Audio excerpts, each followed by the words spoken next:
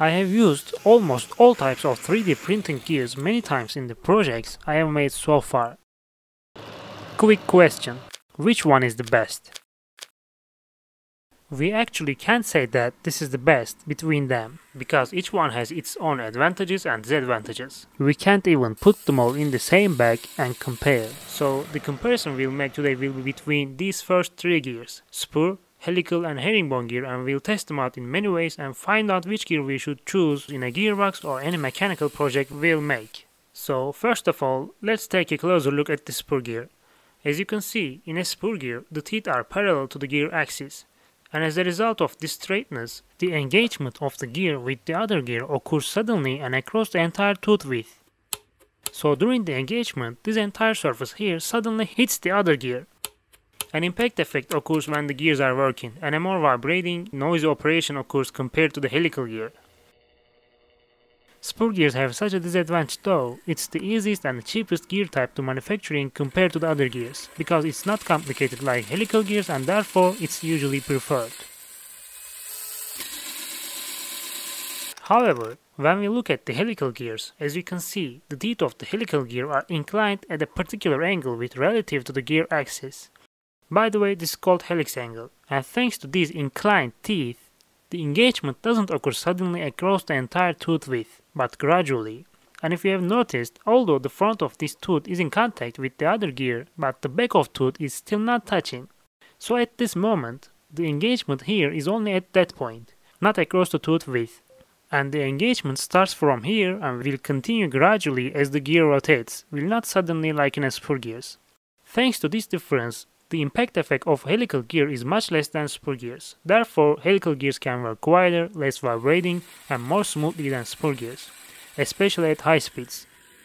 That's really cool, and this advantage of helical gears is one of the main reasons I use helical gears instead of spur gears. By the way, if you really want to hear what I am talking about, you can listen to the sound of the transmission in your car. When you go forward with the car, you hear a normal sound from the transmission, but if you shift into reverse and go backward, you'll hear the sound change, it will be noisier.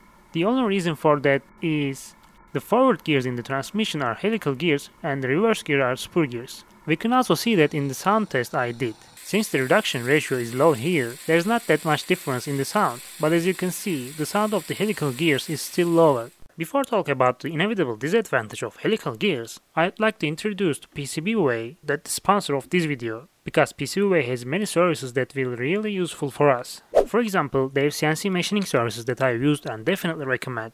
As you can see, there are many types of materials, of course you can use a different material if you want, and you can order parts easily. In before I had ordered a steel sheet and acrylic cover using CNC machining services, it was truly nice, smooth and fast. By the way, besides the widely used FDM types 3D printers, they have 3D printing types with extremely different materials. Also have important services such as sheet metal fabrication and injection molding, and after all, very wide range of PCB services. All you have to do for all this stuff is to upload the design files, and they handle the rest. Many thanks to PCBWay for sponsoring this video and I added a link below, definitely take a look. So back to the video and let's continue with the inevitable disadvantage of helical gears. The helical gears can work quieter and more smoothly than spur gears but there's a problem with that, which is the inclined teeth create an extra axial force.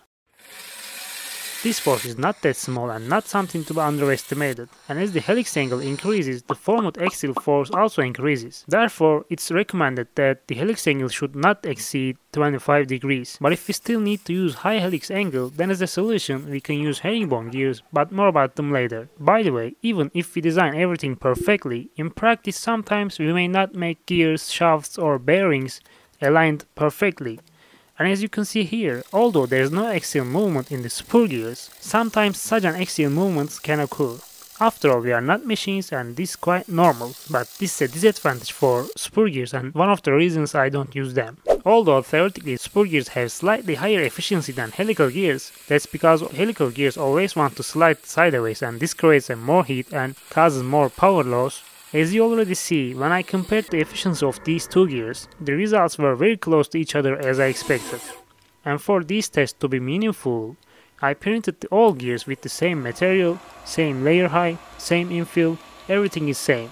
If you ask me, using spur gears in 3D printing, especially at high speeds, is not very correct decision. It better use at least a low angle helical gears instead of a spur gears. For example, in this project I used low angle helical gears instead of spur gears. The helix angle was also 23 degrees and even at high torque, the axial movement did not cause any problems. It worked very well. Alright well, so far we have chosen the helical gear between these two gears. However, we can use helical gears within a certain limit though, the helix angle will be low or we'll fix it somehow. But this is still not enough for us and here are the herringbone gears as a solution. Frankly, when we look closely at the herringbone gears, we see two opposite helical gears, right helix and left helix. Thanks to these opposing teeth like this, the axial force that occurs in helical gears doesn't occur in these include. Actually, the axial force created by this left helix tooth is eliminated by the right helix tooth. And as a result, there is no axial force. And by the way, as you can see, when the herringbone gears engage each other, the teeth actually lock together. This is great because these herringbone gears work as quietly and smoothly as helical gear and there is no axial movement that is the weakness of helical gears. This is the reason why I've used herringbone gears in the most projects that require high torque until now. The only flaw I can say for these gears is that they are sometimes difficult to assemble. These gears can slip over each other like spur or helical gears and using them in a planetary gearbox, for example, can be quite difficult. But if you ask me, the herringbone gear may be the best, most useful gear type we can use for parallel axis shafts on 3D printing. By the way, the design and production of herringbone gear in industry is more difficult and expensive than the other two gears. But there's not much difference in 3D printing, both are easy. And for the design, I first create a helical gear then mirror it relative to the top or bottom surface, and get the herringbone gear. Herringbone gears are very similar to double helical gears, but there's a slight difference between them. There's a small gap in the middle of the double helical gears. However, there's no such a gap in the herringbone, and therefore, as you can imagine, the herringbone gear is easier to print.